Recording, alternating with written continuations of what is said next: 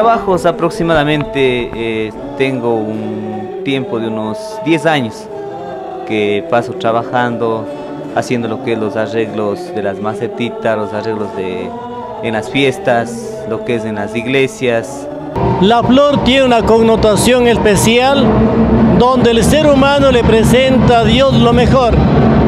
Y a través de las flores, la misma creación entera, que es obra de Dios, son los adornos que se le presenta para celebrar al santo, al patrono, ofrecer en la Eucaristía, porque las flores son ofrendas, el mejor adorno que Dios nos ha dado, y entonces para Dios siempre da lo mejor de lo mejor. Muchas flores que hacen No, no, no, los domingos hermoso, no, no, es algo hermosísimo, algo hermoso, digamos, es un, es un ejemplo para el mundo entero, cómo se debe respetar a Dios. Por eso cuando hay una festividad se quiere que para Dios siempre esté de la mejor manera preparado y hacer el altar. Ahora eso tiene que llevarnos a un compromiso grande también. Si yo adorno el templo, la casa de Dios, debe llevarme también a adornar y arreglar mi, el templo personal, que es el templo Espíritu Santo, que es el corazón de la persona. Es decir, le gusta cómo le decoran todo. Hermoso amigo, lo que más me gusta. Sí, es, digo, es el ejemplo que debemos seguir.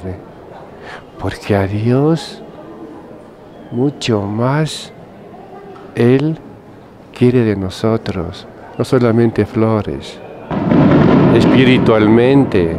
Ajá, sí, ambas cosas. Les gusta a Dios, flores, espiritualmente, todo. El arreglo que se ha hecho actualmente en la iglesia en esta semana, ¿qué tanto de materiales de ingreso? Es, mm, bueno, sí es bastantito que pedimos nosotros la cantidad de flores. Entonces, de, de acuerdo al, a la- al presupuesto, digamos, de cada altarero, algunos quieren bien arregladito, algunos mm, así poquito nomás. Entonces, de acuerdo al presupuesto de ellos, nosotros mm, pedimos la flor.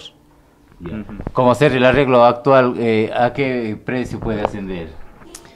El actual, el actual, bueno, es un precio de unos 1.300 dólares. Ajá. Ya. 1.300 a 1.400 dólares, de acuerdo al, a lo que el cliente, o sea, me pida, si quiere más flores para la procesión, si quiere más cargadito de, de flores, lo que es la iglesia. Entonces ese es el, el costo. Este tipo de arreglo se da en todas las partes que usted ha conocido, padre. Bueno, sí, en todas partes hay arreglos, pero Girón tiene una característica especial. Allí sí, para Dios no hay límite, para Dios hay lo máximo.